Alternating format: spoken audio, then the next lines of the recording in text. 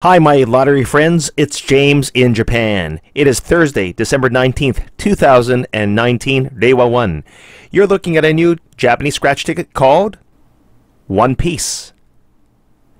And it's called Triple Attack, which means triple attack.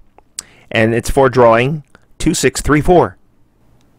A ticket costs 200 yen. The top prize is Hyakuman. To the left is the scratch area. To the right are the pictures that you need to find. You need to find two of the same pictures in either attack 1, 2, or 3 in a straight line. For example, in attack 1, both pictures have to be the same. You have until January 6th, 2021, that is Reiwa 3, to claim your prize. Don't scratch here. Quickly looking at the back.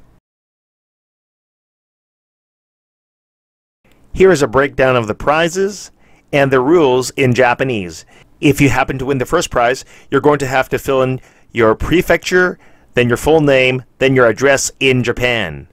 All winnings are tax-free in Japan. I've got one ticket, so wish me luck.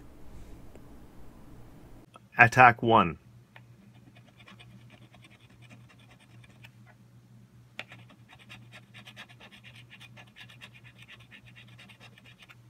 Nothing.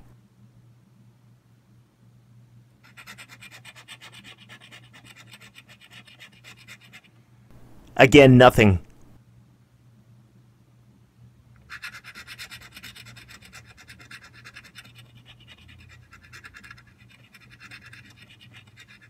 Nope, nothing. I lost. Well, that's it for this video, guys. Thanks for watching. Good luck. Bye.